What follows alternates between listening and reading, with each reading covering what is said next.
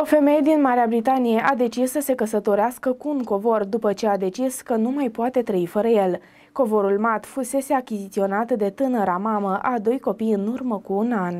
L-am cumpărat pe mata acum un an și am început să le spun tuturor cât de mult îl iubesc. Am ajuns să o iau în serios după ce prietenii mei au început să mă întrebe în glumă de ce nu mă căsătoresc cu el dacă îl iubesc atât de mult. Petrec foarte mult timp îngrijindu-l, îl curăț, îl aspir de două ori pe zi și mă asigur că arată mereu cât se poate de bine. Nu pot să trăiesc fără el, a declarat femeia potrivit de Sun. În urmă cu câteva luni, unul dintre prietenii mei a spus că poate ar trebui să mă căsătoresc cu el și am decis să fac asta. Sunt foarte fericită, abia aștept să petrec Crăciunul cu Mat, a continuat tânăra în vârstă de 26 de ani. Covorul nu a dorit să facă vreo declarație. Nunta a fost plătită de o companie care produce soluții pentru curățarea covoarelor. Când am auzit povestea lui Becky, am decis că trebuie să ne implicăm, așa că ne-am oferit să plătim nunta și să-i oferim suficientă soluție de curățare, încât să nu mai ducă lipsa vreodată, a afirmat un reprezentant al companiei. Becky nu este prima persoană care se îndrăgostește de un obiect. O femeie în vârstă de 35 de ani din orașul britanic Leeds susține că plănuiește să se căsătorească cu un candelabru pe care l-a botezat Lumier, relatează adevărul.ro.